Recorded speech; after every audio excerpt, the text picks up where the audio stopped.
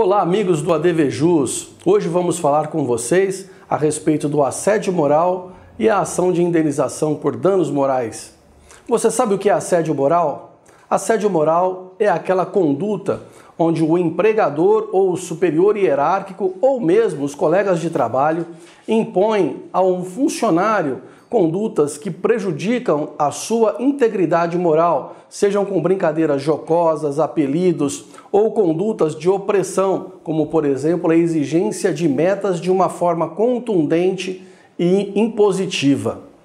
Quando o trabalhador se sente prejudicado, ele se sente humilhado, a Constituição Federal assegura no seu artigo 5, inciso 10, eh, o direito à integridade moral e o direito à sua integridade, à sua honra e à sua imagem, sendo possível a reparação pelos danos materiais e morais. E neste caso, vale a pena ingressar com a ação trabalhista pedindo a reparação de danos? Vale lembrar que essa ação tem dupla finalidade. Uma delas é o caráter educativo para que o empregador não cometa mais esse tipo de procedimento e impeça que os seus funcionários ou subordinados o façam assim é a obrigação do empregador responder pela integridade do ambiente de trabalho.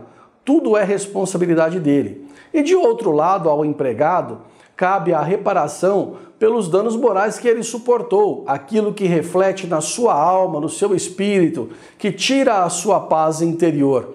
E de quanto será essa indenização? A CLT, na reforma trabalhista, trouxe algumas regras limitando o valor das indenizações. Elas podem variar de 5 a 10 salários referência, considerando a gradação hoje estabelecida na CLT. O salário referência seria o próprio salário do empregador.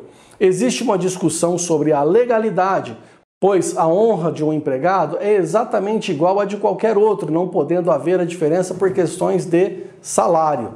Desta forma, você deverá ingressar com a ação trabalhista, se assim o desejar, não pelo valor exclusivamente, mas sabendo que aquilo terá um caráter punitivo e educativo à empresa para que outros funcionários não passem pela mesma situação e terá uma reparação em dinheiro para compensar os dissabores que você passou.